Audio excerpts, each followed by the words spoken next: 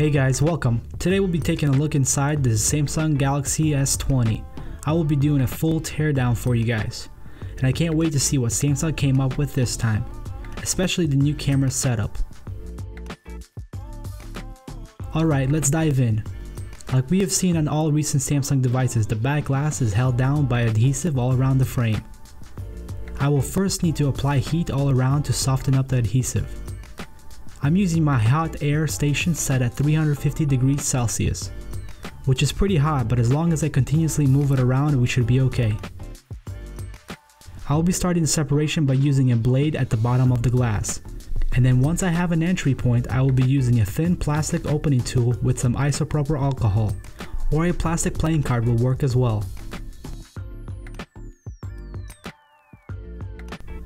I like using a razor to begin the separation because I'm able to easily insert the blade between the glass and the frame and then have the razor go under the adhesive, leaving the adhesive intact when the glass is taken off.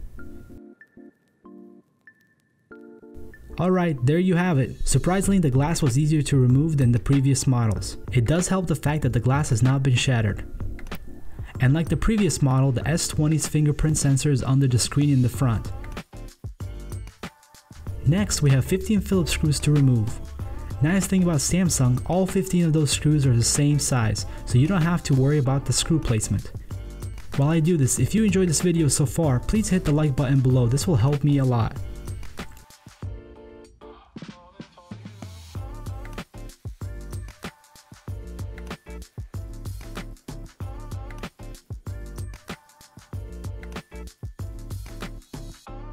Okay, now we'll be removing the wireless charging coil.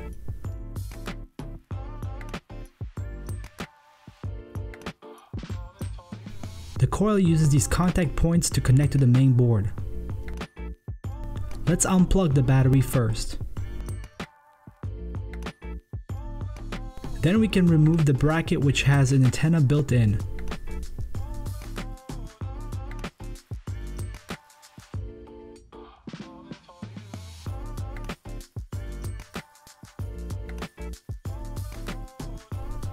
Next we have the bottom bracket.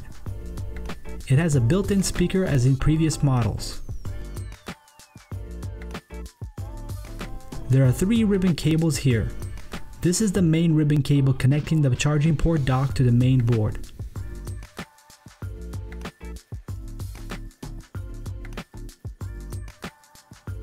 And this is the antenna ribbon cable connecting the charging port dock to the main board.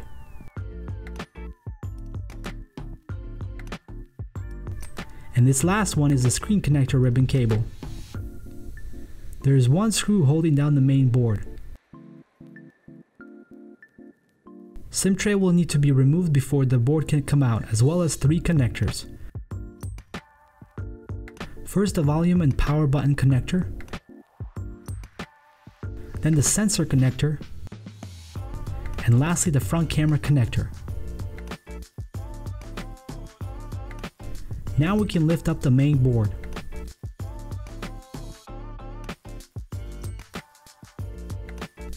Let's go ahead and remove the rear camera module.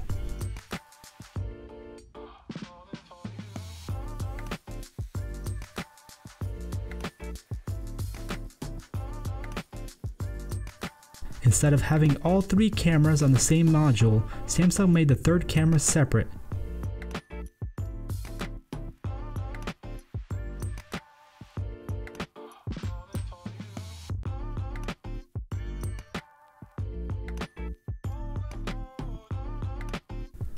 Looks like they were able to save on space for that big battery by stacking the board like the iPhone 10. The charging port dock is held in with three Phillips screws.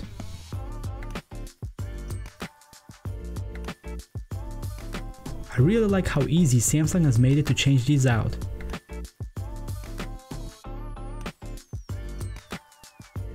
To remove the ear speaker, we will need to heat the front a bit to loosen the adhesive.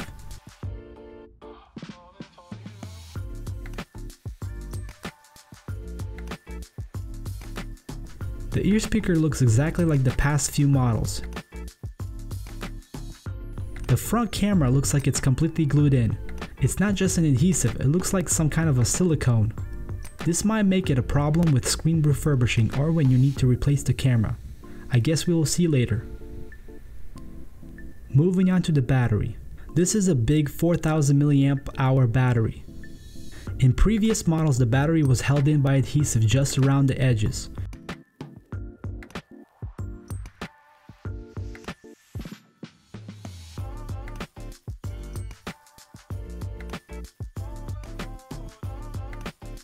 It looks like Samsung decided to put adhesive on the entire battery.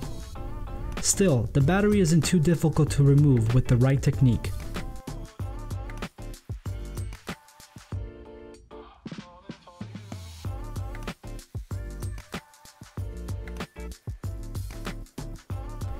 Alright, now all that is left is a screen attached to the frame and a few small parts. I will leave that for another video.